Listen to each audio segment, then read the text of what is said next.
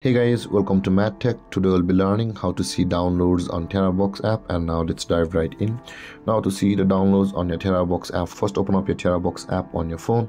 After opening your TeraBox app guys on this interface at the top right corner of the screen, you can see the two arrows icon available for us, one pointing upward and one pointing downward.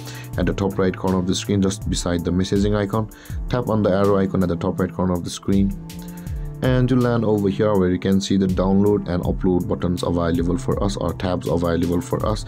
And on the download section guys all of the files which you had downloaded from the terabox to your local file or your offline file data on terabox will be over here.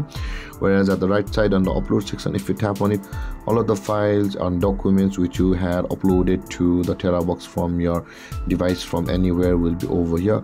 So with that being said guys in order to see the downloads on terabox either can see the tap on download and all of the downloaded files from your terabox app will be over here. Whereas if you have uploaded or downloaded it downloaded the files on the terabox you'll be required to tap on the upload and the, all the downloaded files on your terabox app will be over here.